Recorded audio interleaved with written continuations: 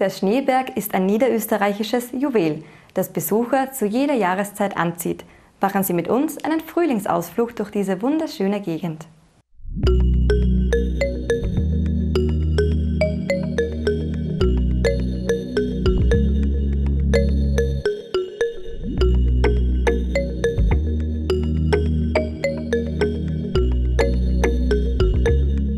Der Schneeberg ist mit über 2000 Metern der höchste Berg in Niederösterreich. Gemeinsam mit der 13 Kilometer südwestlich gelegenen Rax ist der Schneeberg einer der Wiener Hausberge und an klaren Tagen von Wien aus, das sind 65 Kilometer Luftlinie, gut zu erkennen und auch vom Neusiedlersee oder dem ungarischen Sopron aus.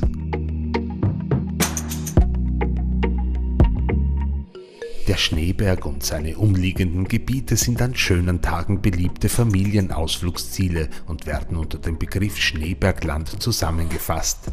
Die Region mit und um die Hohe Wand, den Myrafällen und die Johannisbachklamm werden hier hinzugezählt. Auch für Kletterfans ist der Schneeberg eine gern besuchte Destination.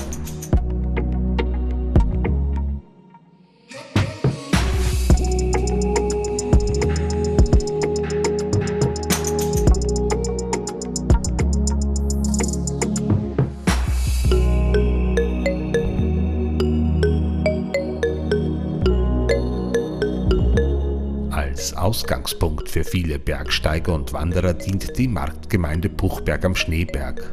Der Kurort zählt zwar nur knapp 2700 Einwohner, ist aber mit über 83 Quadratkilometern eine der flächenmäßig größten Gemeinden Niederösterreichs. Zum Gemeindegebiet zählt auch das Klosterwappen, der Hauptgipfel des Schneebergs, welcher gleichzeitig der höchste Punkt Niederösterreichs ist.